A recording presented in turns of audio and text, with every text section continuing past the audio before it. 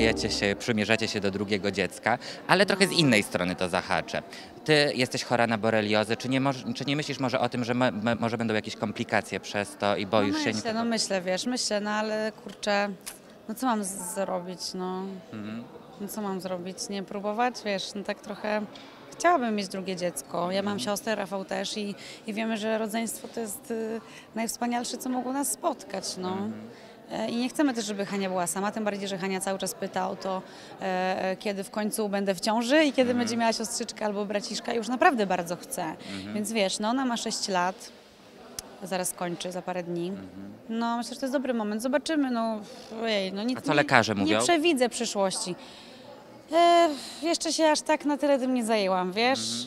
Ym, to jest tak, że, mm, że te bakterie niby mo, mogą przejść na łożysko, przez łożysko, albo, ale niekoniecznie, więc wiesz, i, i, i tak nie wiadomo, co się wydarzy. No. Może się, może to jakoś e, zaszkodzić e, dziecku, ale nie musi, no.